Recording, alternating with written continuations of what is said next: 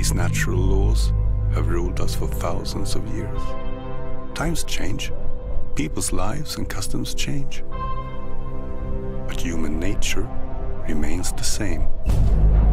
The bishop had said it's time to convert the pagans to the one true faith. Had I known the fate that awaited me, I would never have set out on this journey. As a Catholic, the pagan faith is rather foreign to me.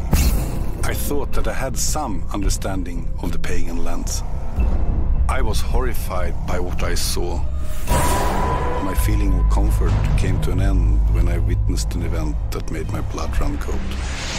While we honored our God with bread and wine, their gods demanded blood. It was as if everything was permeated by the divine, and I was a part of it. I wondered whether I was truly the highest being on earth, or merely a part of something greater. I no longer knew to whom I belonged the Christians or the pagans. But I had learned a simple truth. If you run with the wolves, you must howl with